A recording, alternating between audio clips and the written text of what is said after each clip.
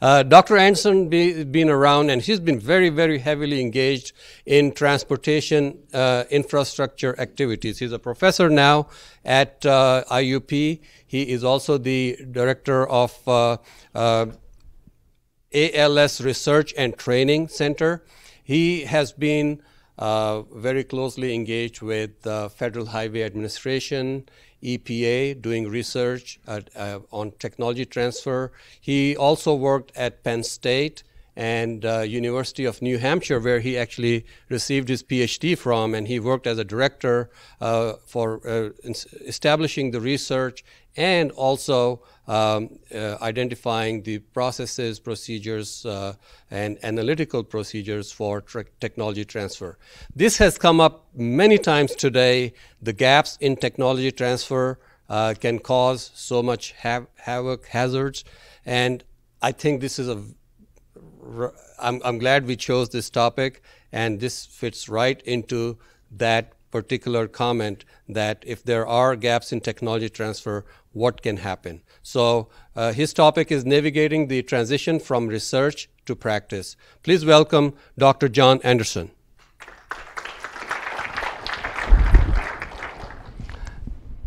Thank you. All right.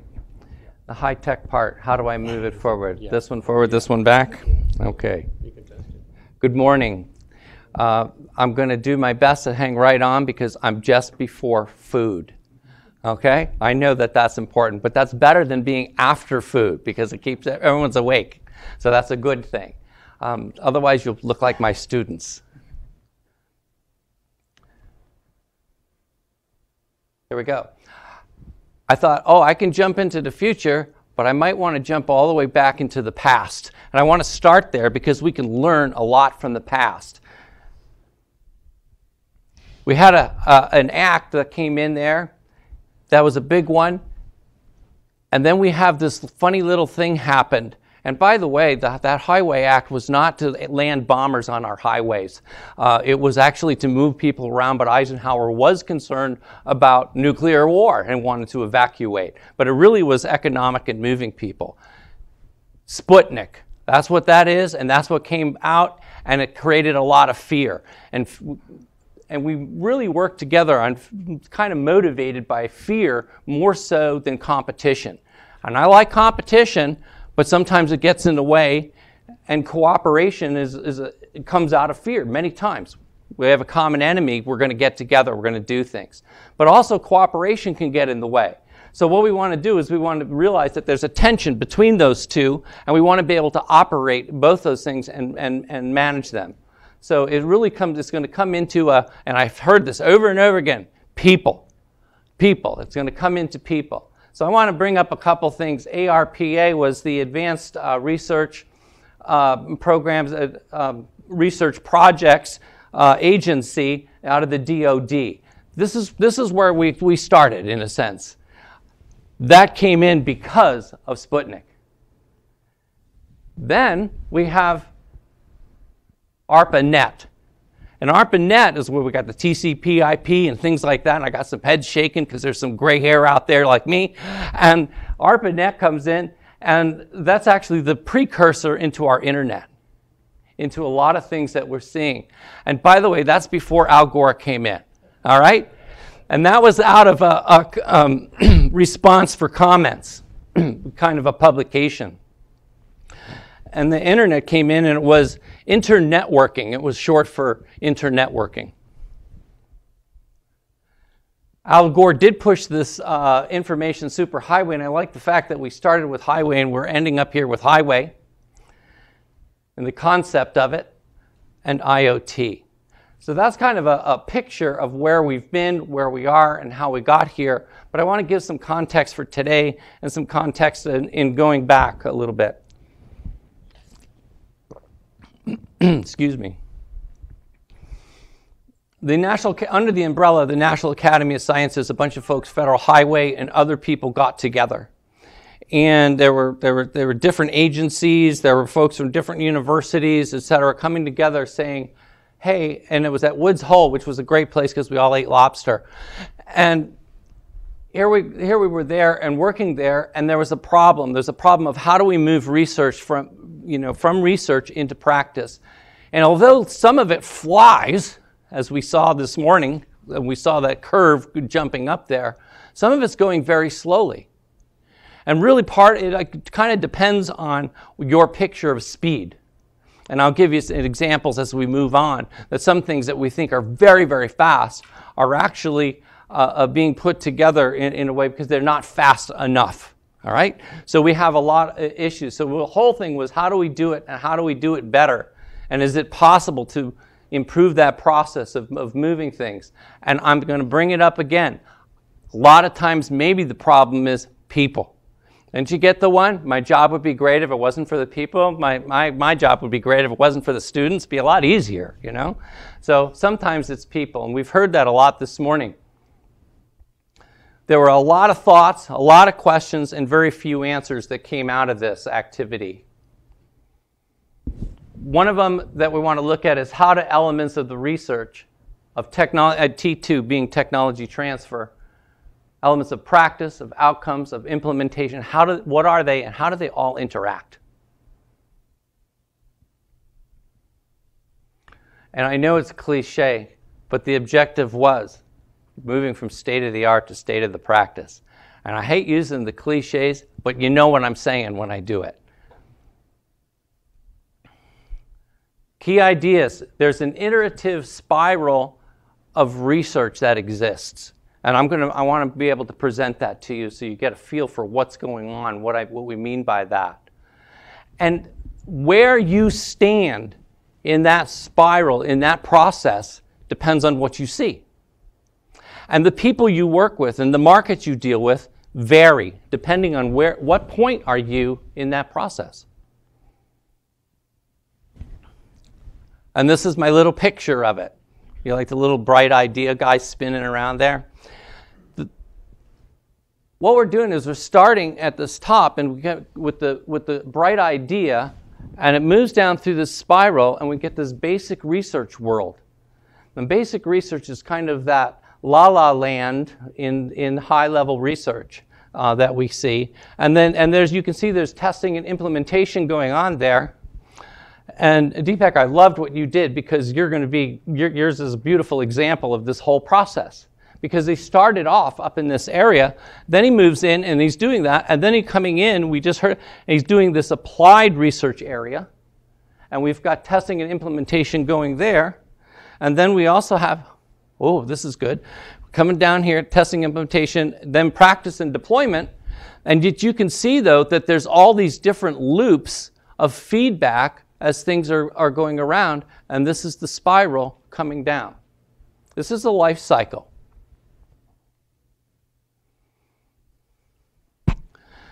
I want to give you a couple of ideas, and it's interesting. The first one was sort of a, just a, a, an interesting thought when I was a little kid, down in my grandpa's workshop, I mean, he was an electrical engineer. He worked for a very large company, traveled around the world doing a lot of things, and we were down there building paddle boats with rubber bands, is what we were doing. And he said, Hey, check this out. And he had this, this cylinder, about three quarters of an inch in thickness of glass. And it was like half of a circle. And he said, Watch this. I can bend light and he put it up to the light bulb and it shot the light right over to the side. I went, Oh, that's cool. Grandpa, that's really neat. But what good is it? He goes, I don't know, but it's going to be worth an absolute fortune someday. That's an idea. That's where eh, we just don't know where they're going to come from and how they're going to come from. This is a story, like you've, you know, the rest of the story. This is a story about a fella who has a, a little kid who is hydrocephalic. He was in Pennsylvania. He was in Philadelphia. That's water on the brain. And what happened was he was a machinist. And he goes and he talks to the doctors. He finds out what's happening. For years, they've been trying to, to deal with hydrocephalic children. And he says, My gosh, you just need a valve here, one that's going to work in a certain way. He went back to his garage, and three weeks later, this guy was motivated. Three weeks later, he had the valve. It was out of a material he couldn't get. So he get instead he finally gets silicone and gets someone to create it, and unfortunately it was a week late for his child, and they had to put the old, which never worked, type valve into the child, and, and he lost his child. However, he continued to work on this thing, and we now have millions of kids being saved because we put together neurosurgeon and a machinist. Different ways of thinking. Houseflies. They have antennae. And they can pick out explosives. And they can pick them out really, really well. And they can, in fact, when they pick out the explosives, they don't get any false positives. And we are blowing up people all over the place. We're very good at that. And we're blowing them up, and we need to, to get a hold of that because we're blowing up children, and we need to get on the booby traps that are left over and the landmines and other sorts of things. And people are trying to do that. Plus, if we're in a situation, we want our people to avoid them as well. But we have false positives and everything. It's sitting right now in absolute research stage. Why? Because they need engineers at this point to be able to move that concept, the research that they did, which was at a basic research level, and they want to be able to move that forward. Okay? But they need engineering to do it. This was an interesting one that happened in the past. This is a fellow who is really all about Mandelbrot. Everyone's heard of old Mandelbrot. He's the fractal guy. Um, and he was working with IBM. And they were trying to get signals across the phone lines. And they were increasing the signal strength, increase, increase, increase, and they were always having an error. He comes in, he talks with them a little bit, and he is able to model, statistically model, exactly what was going on with all the errors. And what that did was it said, no, we can't think increasing signal strength. We need to think how do we redundancy, getting it there, sending it back, knowing that it goes through. We need to change our way of thinking. And that's what he did. He changed the way of thinking. But the way he did it is he went back to the 1800s and pulled basic research out of mathematics. And Cantor was an 1800 mathematician. So that, it's, it's, in fact, if you ever get a chance to watch Hidden Figures, it's an awesome movie. It's, a, it's about the space program. And that's exactly what we did when we put, put a person into space we went back to an 1800s type of mathematics that, that was buried, but somebody knew it, and they were able to bring it forward and solve the problem. Here's one interesting one about sediment buildup. This is about a hydrologist colleague of mine, and he's at a picnic and, and he's talking with somebody, and all of a sudden he's gone and they're back at his office looking at stuff because he's got pictures of streams and sediment buildup, etc. And guess who he's talking to? Somebody who has no idea about this but is extremely interested. He's a cardiologist and had built a relationship and they continued to work because they had more knowledge of sediment buildup and the cardiologist wanted to understand that sediment buildup in the human body and they were able to take his hydrology information and, and, and tie it in with the medicine. Are you hearing what's happening? We're getting people with different backgrounds, multidisciplinary approaches, because we cannot make a discovery unless we have the prerequisite knowledge to do it. And if we're not talking to people in other fields, we're not going to get it. And that's why I love what I'm doing. It's administration and leadership studies. It's not ALS like a uh, disease. And that program is really, really, that's my little plug. It's a very exciting program because it's multidisciplinary. I got military people, I got people in, in human services, I got biologists, zoologists, chemists, um, I've got engineers, I've got transportation people, I got medical people, all together working because the biggest issue that they're finding is as they drive things forward in their fields is people. Transporting light. 3M is a great company that for, for product development. And they created this oh, really, really awesome plastic. If you ran your fingers across, it'd be like corduroy, if you will, or you could feel it go. Really, what it is, is is it's just prisms that run down this plastic. And you probably haven't necessarily seen it. Maybe some of you have, but they they killed it because they couldn't market it. They're awesome at product development. They're not as good at marketing. But the neat thing is, is it took and transported light. So they built a prototype of a street lamp. And they could put the light down here. You don't need a big bucket to get up there to change those light bulbs. You can change the light bulb right down here. And it did not lose any of the light coming out. They just carried it up and over. They put lights on buildings, etc. And I'm thinking, oh my gosh, why can't you run lights through tunnels? Why can't you? But they weren't really into the marketing. I would love to have gone into the hardware store, getting a big tube that had that stuff in there, put it in my basement, and run one light or two lights and run my whole basement, all the lighting that I wanted, because it would create this beautiful diffused light, which was great for office buildings as well.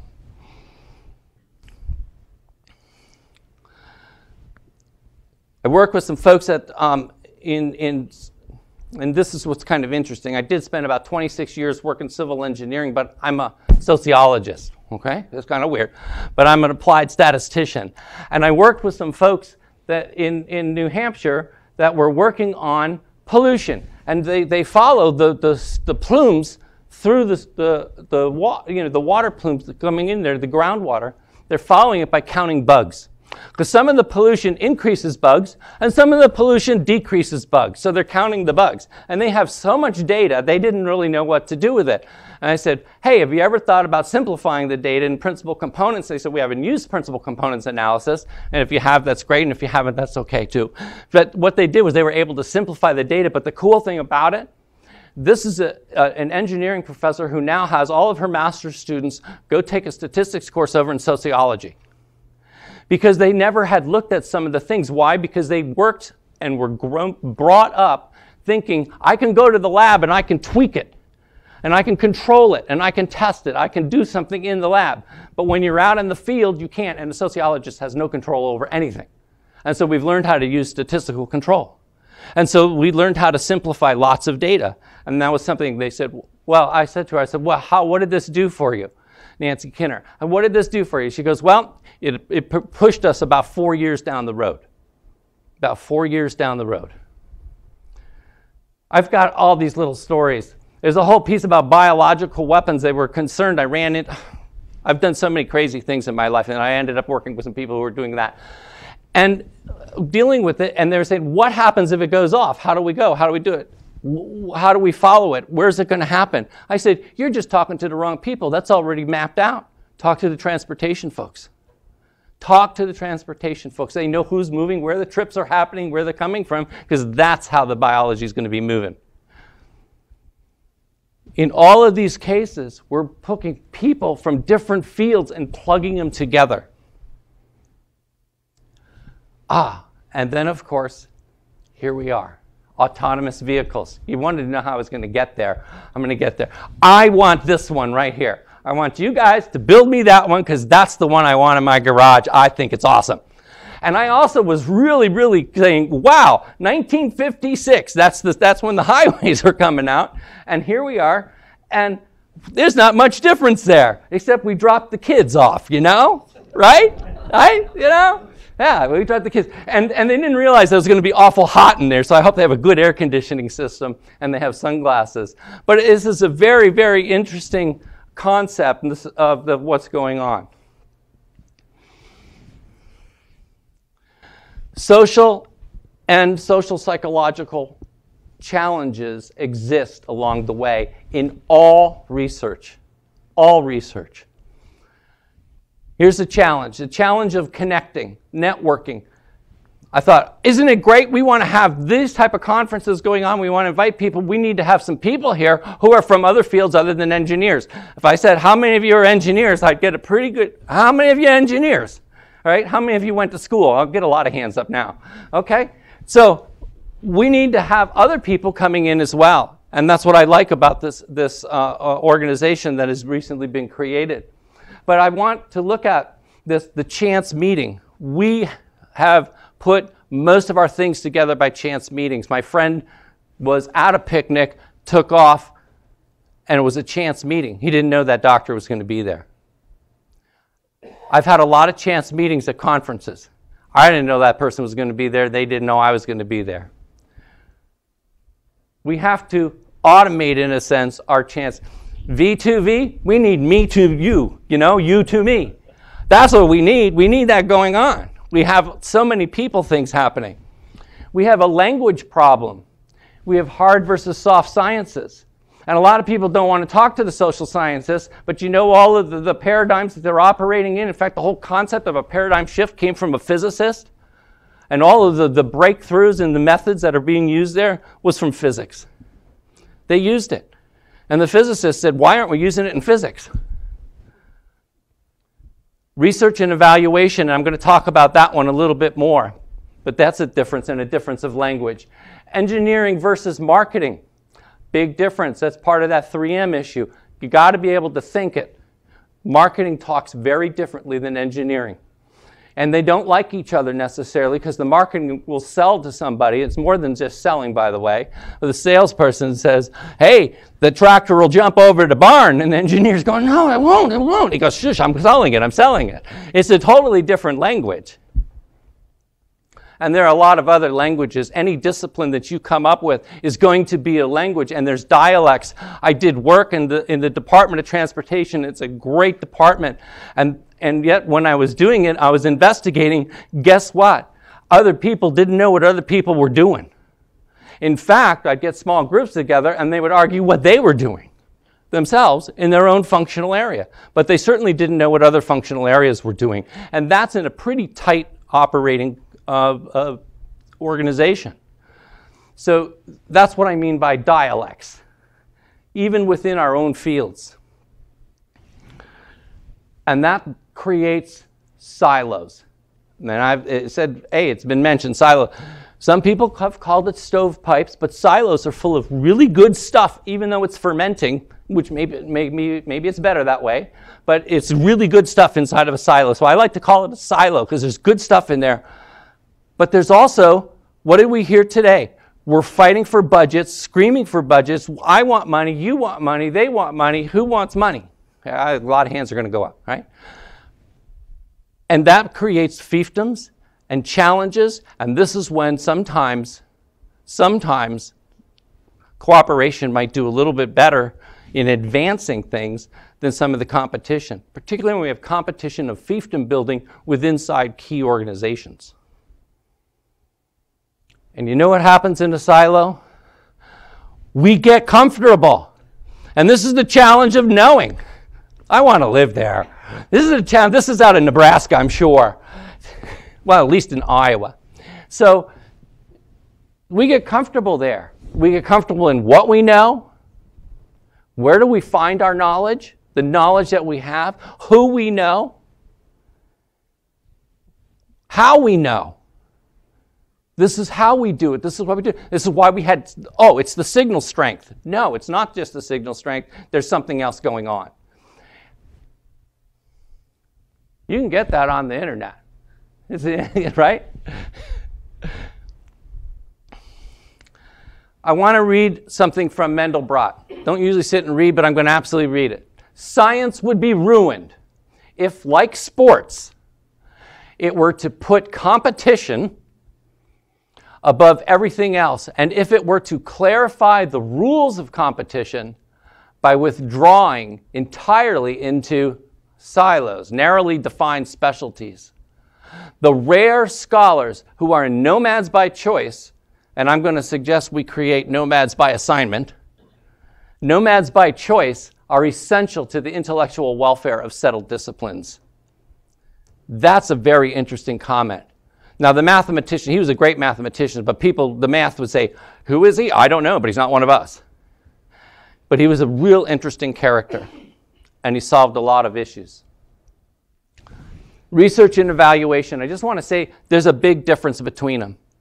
Particularly, evaluation involves value, and research doesn't necessarily do that. Research is, is looking at a focus into knowledge bases, is building knowledge bases, versus working and building uh, issues for stakeholders. There's just a whole big difference, and there's just a lot of. I've got a researcher or my evaluator is a change agent versus my researcher as an investigator. Um, and by the way, if there are values and politics involved, there's winners and losers. So evaluation has got something that's a little bit different. And the cool thing about evaluation is it's got a very different structure. It's much larger.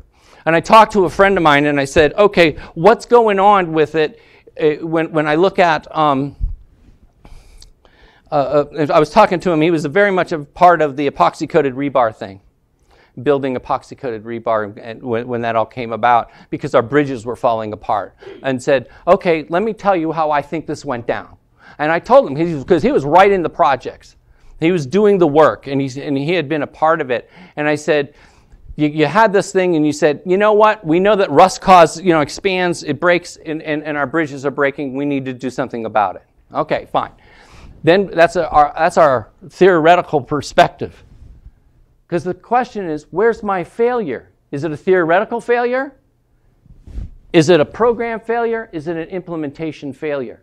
And these different sets of hypotheses deal with the impact. And that's why I liked what Deepak was doing. He was following right down here. He was taking an evaluation perspective. He was sitting down in this area at this point saying, hey, is what we're doing what we expected? Are we really doing what we planned to be doing? And I said, the epoxy coated rebar did that. And they sent it out, and our bridges got worse. So they, well, the first thing they did was they were thinking research, research. They bring it right back into the lab. Now they could have had a different program. They could have used fiber, uh, you know, carbon fibers and stuff, but they're very brittle. The tensile strength isn't so good, so this it, rebar's got better properties. But what they did instead was they, they went back to the um, uh, applied science area and into the laboratory, and they did make it a little bit more pliable. But they came back out and it was still a problem. And what they ended up finding was what you would take and lift up that rebar and carry it over on a forklift and drop it down. And they weren't exactly treating it nicely. They were treating it like the regular rebar. And somebody observed this and said, Oh my gosh, we're wrecking the coating. We need to train people how to do it right. And I think training is going to be something that's going to be absolutely essential in the world of autonomous vehicles. evaluation, which is a bigger picture than research. And by the way, my friend said, How the heck did you know that? I said, Because I put on an evaluation hat, not a research hat. So it said, Notice that it follows the research life cycle. Basic research is happening here. My applied research is happening here. And my implementation or actually my deployment activities are happening here. And we can have a failure at any point. And we need to be investigating every point, and we need to be thinking about every point. I want to roll this thing out. I want to roll it right off of the silo and just take a look at what's happening inside. When I take a look at what's happening inside, I'm going to look at th- this basic research coming over here, applied research, practice deployment. What happens is I got a process that creates some type of knowledge. In this case, it's theoretical knowledge. In terms of valid results, construct validity, I don't know if that means anything to most people, but some people it does. It means that I, I, I'm, I'm pretty confident in what, I'm, what I believe is true is true. Over here, I get a prototype and it's got to be marketable. And over here, I have adopted and use, and I'm very interested in both utility and reliability. But the interesting thing is that we have these gaps in the middle, here and here. And that's where we put in technology transfer. You need to be able to talk back and forth. Mandelbrot reached up here, pulled things, and brought them down here. Semiconductor business puts has a big group, a corporation that builds, does all of the basic research for researches, research for semiconductors. Can't say that 10 times fast. And they're doing it for the government, the US government defense, and they're doing it for the industry. And then the industry is working down here. But they cannot stay ahead. They can't push it fast enough. And we think about that as being a fast world. It's not fast enough. And so what they did was they built this corporation to operate here, which has virtual connectivities with StarNet, and, and people are, are, are working. A lot of it originally started at Georgia Tech. This is the picture, and this is what we need. This is where I'm saying, let's plant people. And that little dot in the middle, that's because this is three dimensional. This is one silo, but we have other silos, and we need to be talking to other silos.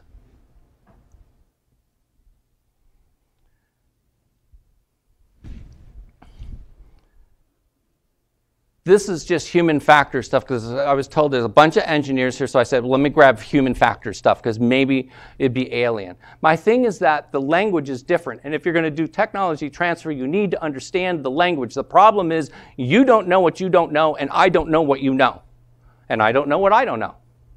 Huh? I know. Isn't that something, something pretty, pretty crazy, kind of flipping around, but it's true, and that's why training's darn important, right? So I don't know what I don't know. Let's talk about just a couple of these things from examples from language. Passive fatigue. I like this one. Cognitive load. When was the last time you did research on cognitive load? Maybe you have, maybe you haven't. But do you know that you know the, the whole theory comes out of educational psychology? Are you involved in educational psychology? What, they, what are the educational psychologists doing? How have they advanced it along? Have we reached in to get their ideas so that we don't have to mess around with it? It's a, these are serious, top of the line human factors issues for AV. Situational awareness, I heard that already. This is a language issue. You got to let me read this one to you, okay? The perception of the elements in the environment within a volume of time and space, the comprehension of their meaning, and the projection of their status in the near future. They could have said that simpler. But it's the way other people talk in other fields. Are you talking that way? Can you hear what they're having to say? Motion sickness. I thought this would be important to have just before we eat, all right? So, motion sickness, I like this. The conflict between visual and vestibular inputs. You know, and the loss of control. Well, when AVs, I don't know where I'm going because the automation is taking me there, and we have a lot of chance of higher increases of motion sickness. That's going to be a hard time of, of adoption, of, of adopting the uh, technology if, if people are having that problem. This comes from aviation. This is a serious point. Mode confusion. We happen to have and I, I, I, do like the discrepancy between a person's understanding and reality sounds like some of my relatives, okay? We happen to have some information that we found out that the pilots are being confused by automation. Now, pilots are above average intelligence. Now, I just want to share that with you because by definition, half of the population is below average intelligence. Okay? So as, the, as we create these very, you know, in, intense automated systems, we need to be able to know how we're going to be working with them.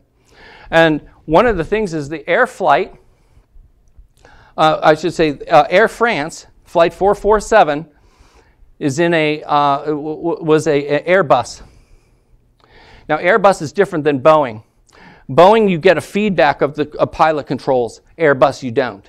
Boeing, the pilot can override the protective automation. Airbus, you don't. So what happens is they've got a, a, freeze going on in the pitot. The pitot are these tubes are, are telling the airspeed. And so as the plane is increasing, all right, the speed is actually the same, but it says that the speed is, that it's decreasing. And when it's decreasing, it says it's I think it's just, uh, just the opposite. Doesn't matter. It was not right. Okay, and when, when so as it was going up, as a saying that we're, decel- the acceleration is going down, the airspeed is going down, and so we're going down and say the airspeed is going up or whatever. It's backwards, and they don't have any feedback between the pilots.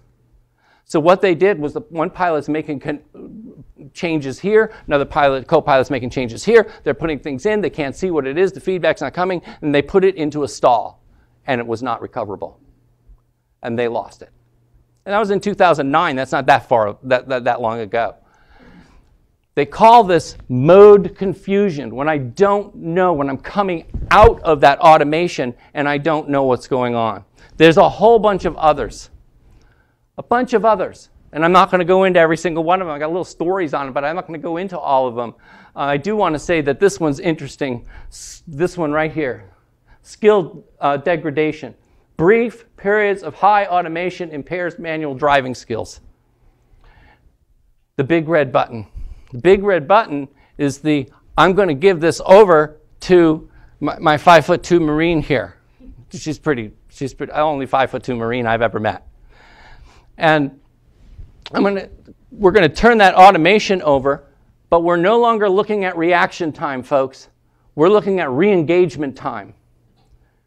Five to seven seconds. So if we're thinking we're just going to turn this over, but now let's just think I'm going to turn it over, it's okay, we're going to exit off the ramp. All right, whatever that might be. Let's add 30 to 40 seconds. That's not total. So now I've got 35 to 47 seconds. By the time I, I by the time I really stabilize my vehicle and I'm, I'm totally oriented back into it after a period of automation. This is a problem that needs to be dealt with and worked with. There are human factor issues that are critical that are going to come in and they're going to give it a bad name. And I just want to let you know, I think we can do this. I think AV is going to happen. And I think it's going to be awesome. I really, I'm looking forward to it. It's going to be great because I had to take care of my mom for a long time. It would have been great to put, I had to do a driving Miss Daisy thing, you know, with her. Instead, I wanted to put her right into, she can't yell at me, she's gone now. But I wanted to put her in one of them vehicles and send her off to the grocery store. It would have been great because she had macular degeneration. Or as one of my doctor friends said, wow, I had someone came in, they told me they had a macular degeneration. It was like, wow. I was like, whoa, well, that's interesting. Um, these are the things that I would suggest that we take a quick look at very quickly. Identify who should be involved in every single phase of the research. Think of that research. I gave you an overview, but it's just think of the research life cycle. Every phase of the life cycle. Who should be there? And who do you know can speak the different languages? Obviously, set an evaluation plan. Obviously, monitor, intervene that were, those were those points I was pointing at. Intervening, horizontal, vertical, transfer. Speaking the language, moving it around, moving it through the people. Not just the same old, same old folks that we talk to, but people we don't necessarily know. I like this one. Your organization should be bigger than your organization. You'd be partnering, you'd be cooperating, be talking with other people, this is this being agile, etc. Should be your organization needs to be bigger than your organization. You need to reach out and notice all of those inventions I told you about. The prerequisite knowledge came from another discipline. Nomads by choice, nomads by assignment is what I say. Put them in there, get them in there, those people who can speak the languages, who can talk, and it can move it forward.